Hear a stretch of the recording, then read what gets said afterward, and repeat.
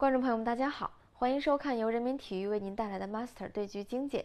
本期我们请到的讲棋嘉宾是彭全七段，彭老师您好。呃，主持人好，大家好。那这盘棋呢是由远山君是网名啊，呃，他执黑对战 Master 的一盘棋。这个远山君呢，我们也是不知道他到底是哪位职业棋手。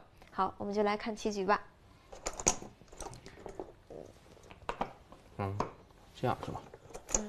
啊，我们来看，呃，这盘棋黑棋下了一个双小目，嗯，就远山君，然后五有角啊，然后马四的挂角，挂角，一间高加，对，然后拖断啊，这也是一个，呃，算是一个常常用定式吧，嗯，嗯，这里有一个特点就是，请我们注意，黑棋首先要有真子有利啊，嗯，真的不利是不能这样打了长的啊，嗯，这不利的话。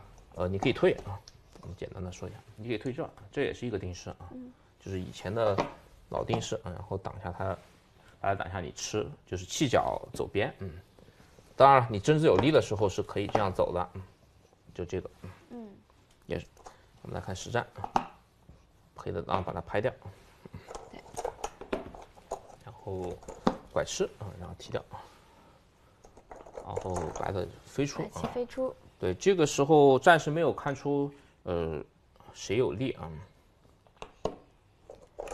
黑棋挂角。对，挂了拆回去啊。我觉得呃下两步棋比较有特点，一个是贴，呃，这个下一步非常非常有特点。它是碰在了这儿。对对对，因为这个棋呢，呃，在我们学棋的时候呢，就是职业棋手下棋或者老师教的时候呢，说你一定要长或者跳啊，嗯，就是不要去靠人家。因为靠的话，虽然争了个先手，是不是被被黑棋扳个头？不是，要走肯定要走的，嗯，就是不能被黑的扳嘛。对对对。但是呢，我们宁可花一手棋去走，为什么呢？因为这个角下面呢有很多位的，就是我们随时可以把这个空，呃，我这就不具体举例了，随便点一下爬肯定是活的，嗯，拖估计也很难抵挡白棋黑棋啊。就总之呢，意思就是说呢，我们挺完以后，虽然落了个后手，但是呢，黑棋这这个空并不安全，嗯。我们宁可落一个后手，你靠呢？实战的话呢，对方也帮黑棋补棋的对，虽然得了一个先手，暂时把这个扳防住了，这确实是扳不了了，因为我们看跳是先手嘛。嗯，对，扳已经扳不动了。但是呢，就是黑棋的边控已经全部走实在了，有些损控。嗯，但是 master 我觉得最大的特点就是这个，嗯，他不怕损是吧？不是，他非常的快速啊，他就是给我们最大的这个。呃，震撼就在于他哦，他就宁愿损一点空，也要抢先手。对对，他这个是非常非常鲜明的一个风格。他宁可在布局阶段损一些空啊，损一些甚至让呃那之前的这个理论他觉得不能损的空。但是他有最大特点，他一直是先手啊，全部会看到。对他抢先手。嗯，这个特点是不是之前我们有一句古谚语也是叫“宁失数子，不失一仙”？对对，他跟这个跟这个棋绝好。好像非常的那个，嗯，贴切他的这个风格，嗯，对，他不太在乎局部的得失，嗯，我们看到这个局部也是一个，呃，很有特色，嗯，连扳的时候，呃，有很多很多高手会立，嗯，嗯，因为立完以后呢，这个空还挺大，呃，空很大，嗯，然后你你走棋呢，他就走别的了，那这时候呢，我们看马斯特他宁可走上面，嗯，实际上应该是。搬这个，嗯，然后黑棋长，他也不立这个啊，这时候不能再立啊，全部这样不能再立，再立落落后落后手啊，对，这一定是猜边，嗯，就是我们会认为呢，这个打掉是非常大的，嗯，我们来看一下他怎么样构思这个棋，因为打掉完以后呢，对这个白棋没有办法，黑棋只能弃子，白棋走这儿，对，其实我们会看到呢，呃，黑棋的边控其实还是蛮可观的，我个人觉得。呃，还有个特点呢，就是黑白棋这个地方非常不安全。为什么会想立呢？你这个，我们看这个点方非常非常，呃，对于白方来说非常恶心啊，因为你你你这虎不了，虎被它断了。我们给大家看啊，这个还得粘，粘它长出来，你你好像崩溃了这个棋。对，如果你补棋呢，我们就，呃，这个变成先手打吃了，嗯，所以这个时空就太大了。啊，我们来看一下 master 怎么处理这个地方。master 就脱先了，他先他先这儿简单的处理一下。嗯，哎，这个时候黑棋的应法也是非常有意思啊。黑棋飞在二路。对，其实这个地方为什么他不出手呢？呃，你仔细回想的时候呢，呃，好像这地方就没有那么大了。我们刚才把这地方摆完，如果就说，哎，群友们说，那不是建冲的时候，呃，也可以脱线吗？对呀、哦那我你不说这厉害吗？我刚刚说，那我就来行吗？嗯，来这个是吧？嗯对，让他先吃一下啊，这个是当时白棋豆了。提掉。对，这个只能踢掉。然后这时候呢，你会发现呢，他又不要了，你只能吃吗？你已经这样了，你只能吃了然后，你也没有吃好了。对对，你已经没有退路了黑棋啊。当你吃完以后，比如他把这挡了，呃，你会发现一个什么问题呢？呃，黑棋所有的都是，白棋势力范围了。对对，主持人说他还有一个，你会发现黑黑方有个巨大的问题，就是所有的子力都集中在了右下方、右下部，虽然好像提成了一个马蜂窝啊、嗯，但是是一算账呢，其实好像没那么大。呃，是一数呢，我们给大家数一数，就数到那个延伸到上面的，大概是四十五左右啊。这个不到50子花目太多了。然后这这十目全盘是五十五，现在这这个拔花呢，已经不能称作后事了，以后估计要变成负担啊。嗯，只有五十五。我们来看白棋呢，那上面十目是肯定有了。白棋这个茫茫的白市，它围个四十目棋，你觉得困难吗？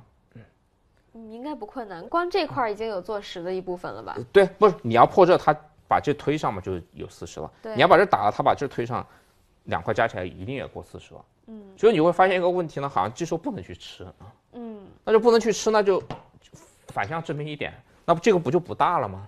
对，这个不大的话，那不就在推理的话，这个角也不大了吗？都不大了。就你所有的理论体系不就被推翻了吗？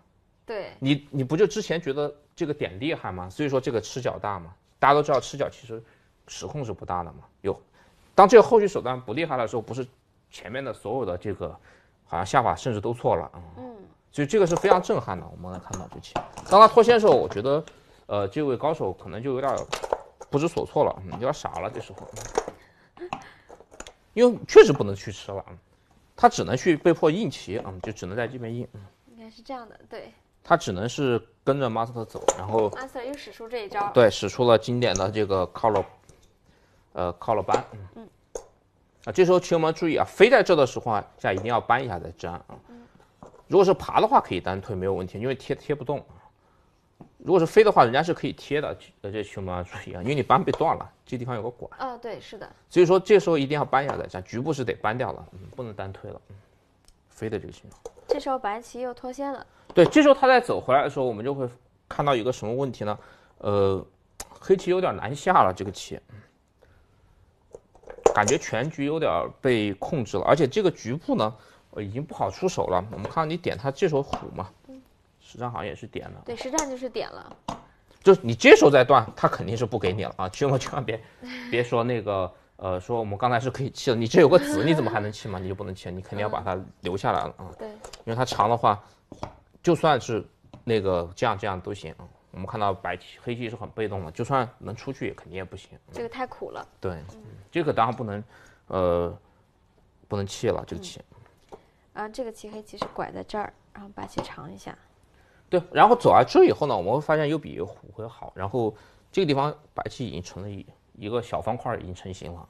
那这黑棋为什么要点在这儿？它为什么不单拐呢？单拐他怕它长嘛，嗯，他觉得啊，就转这么一点。对他觉得空更大嘛，他以后点人家甚至就不直接就后手了啊，哦他就想赚点官子嘛。哦，所以他就稍微转一点。对，这样他不好意思拱了嘛，嗯，他会退在这儿。然后黑棋打入。他想从这边打嘛，这个思路我觉得也是没有问题，因为他准备从这边打的话，这边已经借用不上了嘛。嗯，这当我们这个局部走完的时候，黑棋不可能再打入这儿了。嗯棋坚定。黑棋脱角。就黑棋的构思其实没有什么问题啊，就是我个人觉得啊，打吃吗？打吃。嗯，然后粘，嗯黑的应该是往里拱，把它立。嗯立黑的应该是顶住是吧？对，黑的顶这儿。白棋把立这立，嗯黑棋挡。呃，这时候把马斯特把它逼活，应该是起，来。对，然后他他他进角，嗯那黑棋这个后手掏一个角，价值也还可以吧？对，从子效上来说，我觉得这时候的这位高手应该是满意的，嗯，嗯，甚至觉得呃很有希望，嗯，因为白黑的实控是这时候蛮多的，其实说实话啊，嗯，这块空就给你了嘛。嗯，我们来看接下来，呃，master 怎么？接下来 master 把这个立了。对，这个时候球们千万不要去围这个空啊，这个立是对的，因为围这个空的话，球们看到这个奥路飞就闪闪发光了。这这个是漏着风的，围不上啊。你这样围的话其实不大，呃，如果这个被拍掉的话，甚至它搬完以后，嗯，我们看到。他压迫完以后把这个拍，这个拍应该后手超过二十目啊，呃，看似不起眼，非常非常的实惠啊。这样的话，中间其实是围不了多少的。如果是这个被拍掉的话，我觉得甚至黑棋全局是可战的。嗯，因为毕竟左边有三十多目，这角有二十目，然后加这已经六十过六十了，而白棋啊显然绝对实控是不足的。嗯，所以实际上他这抢控，嗯，他白棋黑的也是扳，应该是。啊，对这个没有，白棋长，对，他把这步棋让给黑棋啊，我觉得是，呃，这盘棋最出彩的地方，看似最大的地方，他他不他不给你，他不要了，特别是他走完，特别是他走完这步棋，你总以为他会去扩张这个这个边，结果他给了黑棋，然后把然后把自己放在上面，对，当他下完这步棋的时候，呃，我觉得，呃。这位高手啊，应该就浑身冒汗了，应该啊，就这时候再一数呢，我们给球们看这个盘整个棋的走势就不对了。我们看左边呢，大概还是三十多目，嗯，加这还是四十多一点。这个角由于差了一手棋，只能算一半了嘛，嗯，里面有个跳，加这呢最多黑棋是二十目棋，所以全盘最多六十目。我们看到黑白棋上方已经过二十了，然后这个肚子呢应该有二十五以上。这已经四十五了，四十五，然后这总有四四五目棋，五十了，已经过五十了。然后有个最严重的问题就是这块饼没活。对对，黑棋你会发现，虽然这时候好像是六十对五十，但是呢，那团大饼怎么办嘛？对，那那那团大饼已经快要那个进入无疾而终的状态了。就是你这时候啊，青木说那我跑，我跑一手不就 OK 了吗？啊，但是你觉得你有空跑吗？你在花手当官去跑，他把这一打，你这边只有十目棋的话，盘面可能都成问题了。嗯，就你没有空去跑那个了，这是下棋最可怕的啊。但你不跑，你你真的觉得他不会吃不着你吗？他他接手是吃不着你，我们看到对不对？嗯。但万一中间再有几个子，你怎么办呢？你你就后手死了。这一死了，要死掉将近二十目棋。这个太大。那一下就翻盘了，他他盘面你都落后了。嗯。所以说下这的时候，突然好这棋就。就好像有点转不动了，我们再来看两步。好，然后黑棋全力的扩张左边，然后白棋对，然后白棋掉到这，然后黑棋也不能发力，然后白棋简单的这个靠回去以后，嗯，呃，这时候黑棋就会发现一个严峻的问题啊。对，实际上这副也是无奈局，其实本手只能接，我觉得。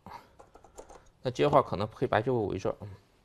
这样围上以后，我们看到下方是黑白棋是三十目棋，夹着接应三十五，然后上方二十五不动是五十五，黑棋这两块是四十，好像黑棋全盘五十五是数不出来的。然后这团饼呢，虽然暂时有了这几个接应是死不了，但是你要指望它围控是不可能的，对不对？是。它不死就不错了啊，你要不吃你就不错了。所以说呢，这如果普通接好像盘面都不够了，这棋不可能很莫名其妙啊。其实他实际上想拼在这儿嘛。但是平安这遭到了这一个反击，一个断啊！我觉得断在这的时候，呃，这盘棋的希望基本上就已经没有了。嗯，因为断在这，其实我们看到不是说这个断解决不了，你怎么包扎完那块棋就就没了。对，你普通长是吃不死的，这明显是贴不住的。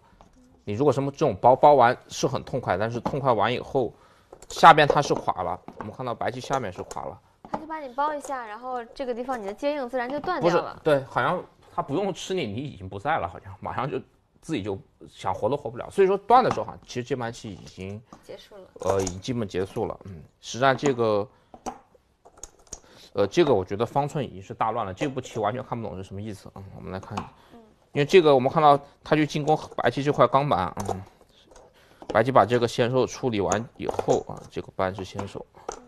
我们看到你断进去有什么意义吗？你们不要吃左边这块，对不对？然后白棋在中间连招，这肯定是不，呃，可以用崩盘来形容了，因为上面已经兼顾不了了这盘棋，甚至这都快兼顾不了。当然你说这步棋不下这有用吗？我觉得确实好像甚至前面就不对了，嗯，呃，很莫名其妙。这时候我们再来看，确实这时候为什么要长嘛？反正你也是死的。对。他这首一手棋没有花，我觉得 Master 的棋非常的有特点，嗯，是，包括他这边就是把这个这个拆边让给黑棋，这个新颖的思路也是非常值得我们学习。嗯，是就是，而且左边啊右下方也非常出彩，这个大棋子，嗯嗯，好的，那这盘棋我们就摆到这里，下期再见。